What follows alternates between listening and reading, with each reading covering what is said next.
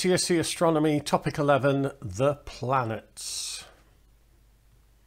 What is a planet? Well, there are three conditions to be a planet. Uh, if an object orbits a star, uh, if its gravity is strong enough, in other words, if its mass is big enough to pull itself into a sphere, uh, and if it has cleared its region of space of smaller bodies. So anything smaller in its orbit, it has swept them away or it has absorbed them. It has cleared its region of space. Now, Pluto isn't a planet. It used to be, but it isn't anymore. Uh, it's a dwarf planet, or you can say that it's a Kuiper Belt object because it basically spends most of its time in the Kuiper Belt. So it hasn't cleared its orbit because there's lots of other bits and pieces around it. And the decision was made to stop it being a planet when another one was discovered called Eris, uh, which is also in the Kuiper Belt or on the edges of the Kuiper Belt, and it's bigger than Pluto. And several others were discovered, so Pluto was relegated. It's not a planet anymore. What else is in the solar system? Well, we've got the eight planets. There's the four inner planets, then there's the asteroid belt, and then there's the four outer planets, then there's the Kuiper Belt. And the Kuiper Belt kind of thins out into something called the scattered disk. And then there are comets as well, uh, and there are asteroids which aren't in the asteroid belt, and there's lots and lots of little rocks which we call meteoroids. I will talk about these in another video very soon. Now you'll get this table in the exam so you don't need to remember all this information. But what you do need to be aware of are some patterns. There are some important patterns in this data, which I'm going to talk about now. Okay, we've got the four inner planets and the four outer planets. The most important difference between them is that the inner planets are much, much smaller and they are rocky. They are small and rocky and the outer planets are big and gassy. So we have the gas giants, Jupiter, Saturn, Uranus, Neptune, and then we have the small rocky inner planets, Mercury, Venus, Earth, Mars.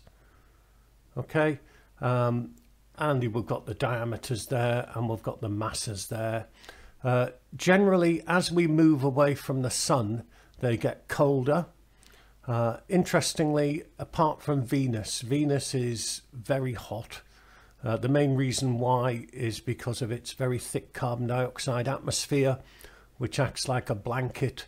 Uh, and so it is much, much warmer than Mercury, which doesn't have any atmosphere. How did the solar system form? Or uh, the big question is how come the outer planets are big gassy giants? There are various theories for this. I'm going to talk about one of them. It's called the core accretion theory. Uh, basically, the solar system formed from a, a spinning disk of stuff called an accretion disk. The sun formed at the middle, and then when the sun actually lit up, when fusion started, and we started getting solar wind, what happened was that the lighter elements, your hydrogens and your heliums, were swept out by the solar wind, carried by the solar wind into the outer solar system, and then the heavy rocky material was left behind. That formed the inner planets. And then further out, where there was much, much less solar wind, then the lighter material clumped together, and that's where you got the gas giants. Let's talk a little bit about each of the planets. There's Mercury, uh, it has no atmosphere. Uh, it's not much bigger than our moon. Uh, its appearance is very similar to our moon. Uh, if it did have an atmosphere, it would be swept away by the solar wind because it's so close to the sun.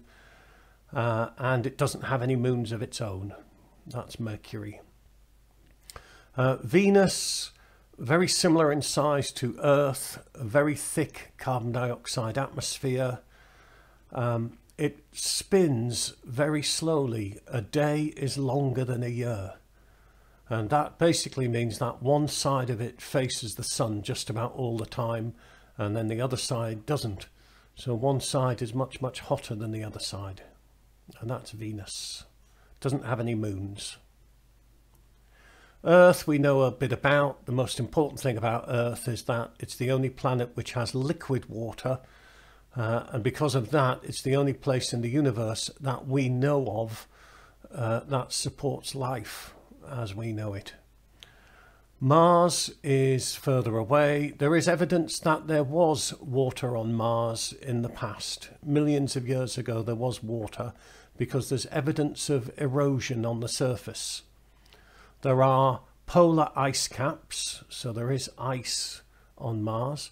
It has a very, very thin atmosphere, mostly carbon dioxide, uh, and it has two small moons, Phobos and Deimos, which are probably captured asteroids asteroids that got a bit too close and ended up in orbit around Mars. Jupiter is the largest planet and it's the first of the gas giants. Gas as in mostly hydrogen and helium and a few other bits and pieces as well. Uh, it has a, a, giant red spot which is about the size of Earth. Uh, it's a storm in all of these gases whizzing round that's been going on for about 400 years now. It has lots of moons, more than 75. The four Galilean moons are historically important, the four moons that Galileo saw with his telescope. Saturn is another gas giant.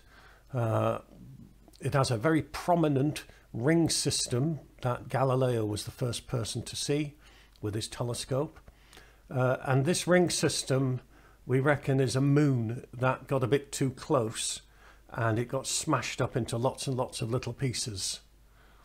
Uh, Saturn has lots of moons, including Titan, which is a very big moon and not the biggest. Ganymede is slightly bigger.